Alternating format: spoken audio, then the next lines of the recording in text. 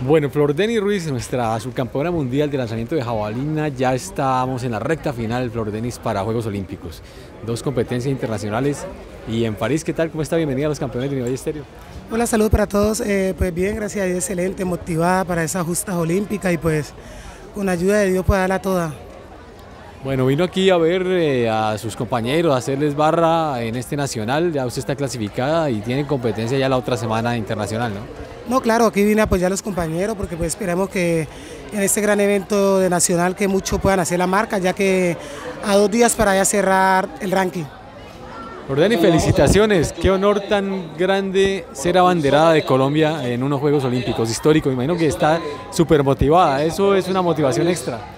No, claro, para mí es una motivación súper porque la verdad ser abanderada del país, saber que voy a llevar a esa hermosa bandera, a recorrerla por el Estadio Olímpico. Eso para mí es una gran satisfacción, la verdad. Eh, ¿Lo esperaba o la tomó por sorpresa? Eh, señor, ¿me repite? ¿Esperaba o la tomó por sorpresa? No, la verdad que pues eh, la esperaba porque también he tenido muy buen recorrido. Fui subcampeona del mundo el año pasado en Budapest y la verdad que he demostrado mucho. Entonces pues sabía que algún momento iba a llegar esa gran alegría. Además, Flor Denis, que va a ser una inauguración en los Campos Elíseos en París, una ciudad tan histórica. no, yo la verdad es que creo que ese día va a quedar para usted. Ese día y el día de la competencia le van a quedar como un recuerdo imborrable. No, claro, para mí la verdad ese momento va a ser un momento histórico, un momento de mucha alegría y más especialmente cuando tengamos la medalla. Cuando tengamos la medalla en París, la verdad que ya vamos a completar toda la felicidad. Bueno, y esa medalla eh, se le apuesta siempre al, primer lugar, ¿no? al oro.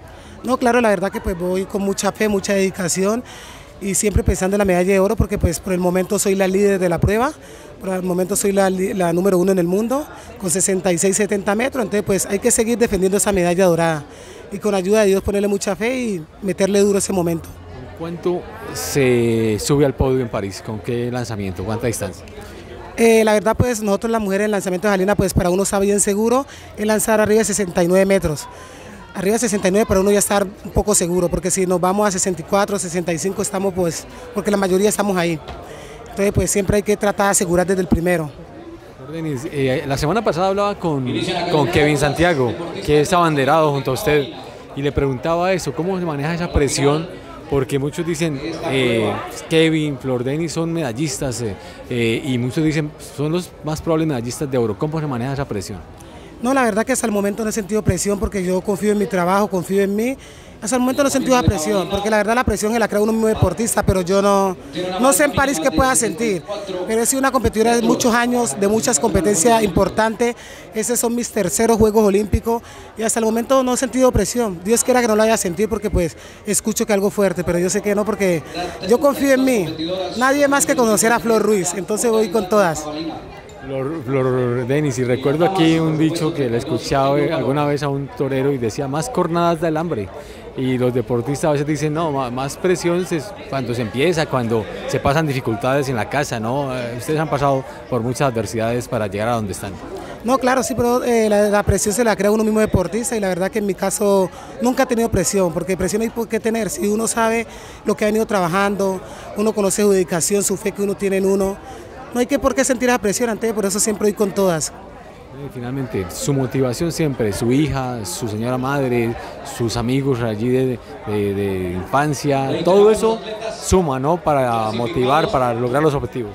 No, claro, eh, mi, motivación principal es mi niña, que siempre que voy para otro país a competir, siempre dice, mamá, mamá, me trae una medalla, sea oro, plata o bronce, me trae una. Yo, yo digo, ok, mami, tranquila. Al momento de ella decirme eso, me llena de mucha energía positivas. Ella es mi gran motivación, mi familia y todas las personas que me apoyan, porque eso se trata de equipo, de equipo, porque el equipo, pues, unión, ¿no? Que la verdad para mí si Dios quiere, llego a coger la medalla de oro, con ayuda de Dios que así va a ser. Agradecer a todo Colombia, a mi familia, a mi niña, a todos los que están allí, porque esto es un equipo.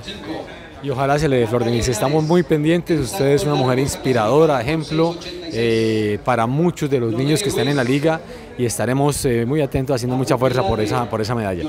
Amén, muchas gracias, gracias.